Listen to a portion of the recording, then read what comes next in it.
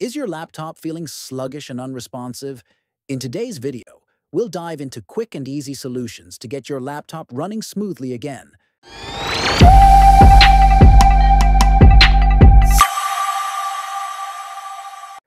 Whether you're dealing with slow performance, freezing, or lagging, these tips will help you speed things up and make your laptop feel like new. First, we'll tackle unnecessary startup apps. Many apps automatically run at startup, slowing down your laptop.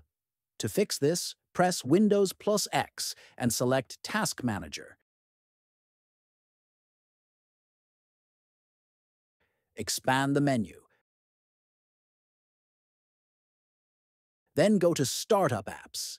Here, you'll see a list of apps that launch at startup. Simply right-click on the app names and select Disable for those you don't need. Be careful not to disable all apps. Some are essential for your system to function properly. Only disable the ones you don't use regularly. Next, let's adjust your power settings for optimal performance. Click on Start, go to Settings,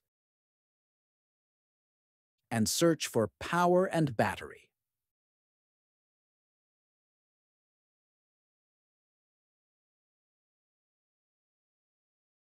Scroll down until you find Power Mode and set it to Best Performance. This will optimize power consumption for better performance, ensuring your laptop uses its resources efficiently. Now, we'll adjust system settings for performance.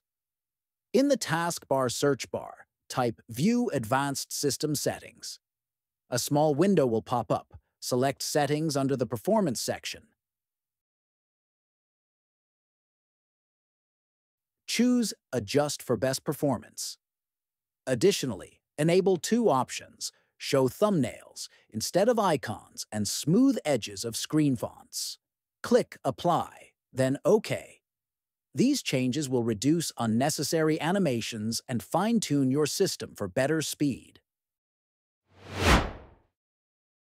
Finally, it's time to clear out junk files and temporary data that can clog up your system. Press Windows plus R.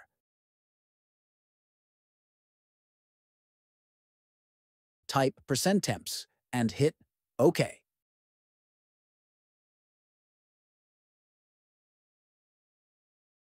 a new window will open, showing temporary files. Press Ctrl plus A to select all, then delete them. If some files can't be deleted, don't worry, just leave them. Next, press Windows plus R again. Type cleanmgr and hit OK. A new window will appear. Check all the boxes, including those for thumbnails, delivery optimization files, and temporary files. Then click OK to clean up your system. And that's it.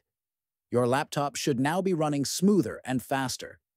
If you found this helpful, give it a thumbs up, and don't forget to subscribe for more tech tips. Be sure to check out our other videos for more ways to keep your devices in top shape. Thanks for watching.